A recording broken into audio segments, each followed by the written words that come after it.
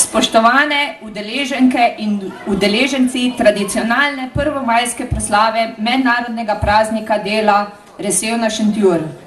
Na Evropskem delovskem kongresu daljnega leta 1889 v Parizu so sklenili, da bodo vsako leto 1. maja demonstrirali za pravice delovstva.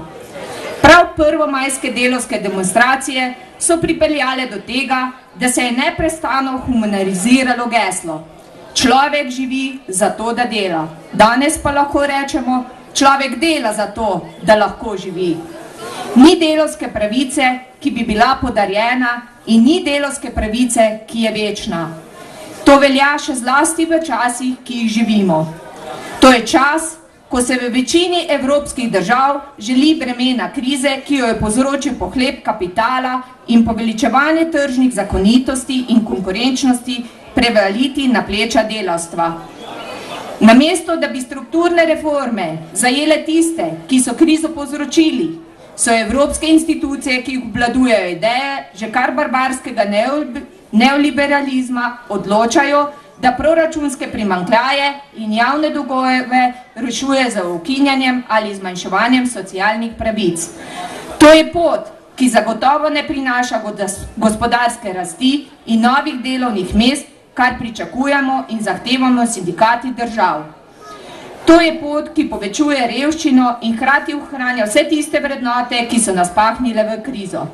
Zato se je potrebno temu upirati in zahtevati uveljavitev druge alternative, to je ukrepe, ki bodo krepili gospodarsko rast za odpiranjem zlasti zelenih delovnih mest, zmanjševanje revščino in krepili socialne pravice delavcev. Delovske plače, pokojnine in socialne pravice niso bili in tudi danes niso uvira, kaj šele sovražni gospodarske rasti.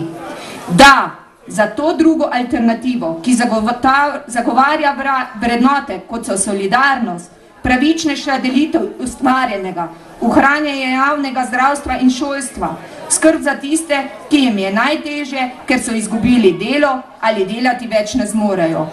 Potrebujemo alternativo, pot, ki bo omogočala zaposlovanje mladih na kvalitetnih delovnih mestih, za večjo stopnjo varnosti na delovnih mestih. Zaradi vsega tega je naš praznik pomemben.